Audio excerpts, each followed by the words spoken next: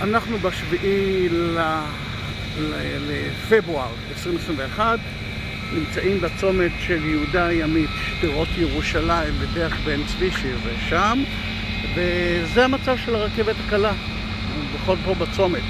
בואו ניקח אתכם למקום שיראו פה יותר טוב, אבל הנה המזרקה, יש לנו פה את בית דניאל.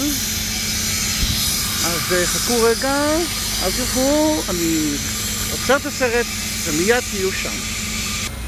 הנה, עכשיו אנחנו בשדרות ירושלים, יכולים לראות כבר כאן את הרכבת, את מסילת הברזל של הקו האדום, גם עד אה, נדמה לי פתח תקווה. אני זוכר נכון 35 תחנות, תראו שדרות ירושלים. תראו מן הסתם לתנועה, יש לנו צד אחד של מסילת הברזל, הצד השני מסילת הברזל לבת ים.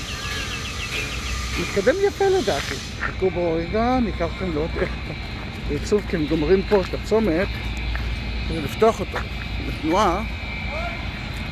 אמנם השמש בכיוון שלנו, אנחנו לראות כבר כאן את העיצוב. זה סרט היסטורי. בעוד שנים ילמדו על המסגרת הברזל, אז אפשר יהיה לראות את זה. אפשר להגיד, וואו, ראינו את זה בבני יזרע. בן צבי, בשדרות ירושלים. שוב בשדרות ירושלים, תראו את שדרת העצים.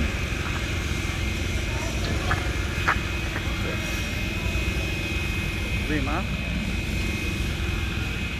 רכבת ירושלים, רכבת קלה, שדרות ירושלים ביפו.